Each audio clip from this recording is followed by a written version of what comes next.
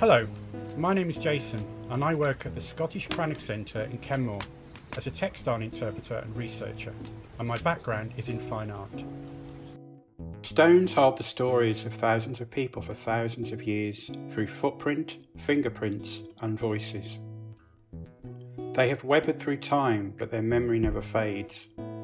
They have existed through cataclysmic changes, plagues, wars and natural disasters and still they cling on to their stories. Now is the time to tell our story and use these stones to become a symbol of human resilience and togetherness.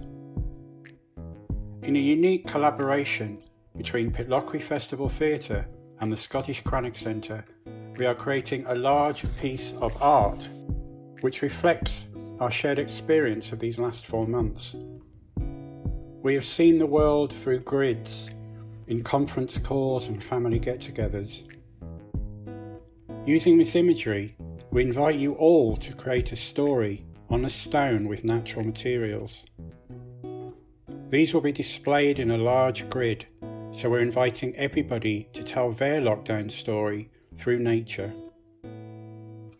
To make your decorated stone, find a smooth stone that's about a third of the size of your fist and then maybe gather flowers and lichen and moss that reflect the place where you live, or maybe something that's seasonal.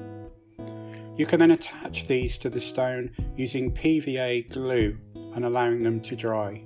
And maybe you could think of designs that reflect your experience of lockdown. When you have made them, these can be left at the Scottish Crannog Centre or at Pitlochry Festival Theatre.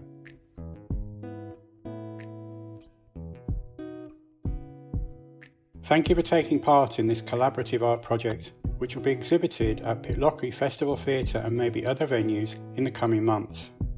We look forward to seeing your creations.